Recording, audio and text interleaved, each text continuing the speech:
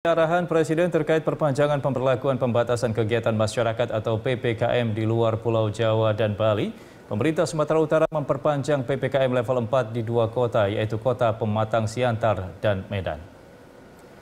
Pemerintah Kota Medan hingga kini masih melakukan penyekatan di 40 titik daerah Kota Medan, di mana penyekatan yang dilakukan lebih difokuskan di lima kecamatan yang dinyatakan memiliki kasus COVID-19 tertinggi hingga saat ini, yaitu Medan Selayang, Medan Johor, Medan Helvetia, Medan Sunggal, dan Tuntungan.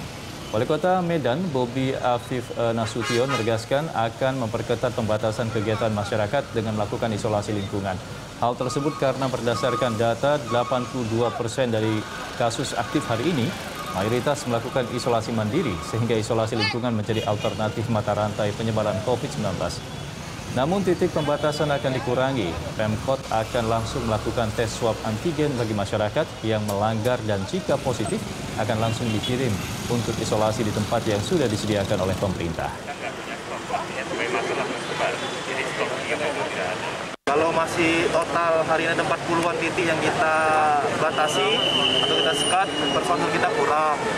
Nah nanti ini karena personil kita kurang nanti kita kurangi beberapa titik yang hari ini kita lihat sudah bisa membackup dari titik lain. ini kita kurangi dan langsung justisi ke lapangan. Kemarin juga hukumannya bukan kepada perorangannya, tapi kita hukum virusnya. Gimana caranya kita swab antigen, kalau nanti reaktif kita langsung bawa ke isoter. Isoter nanti kita bawa sambil menunggu PCR, kita siapkan ruang karantinanya. Kalau positif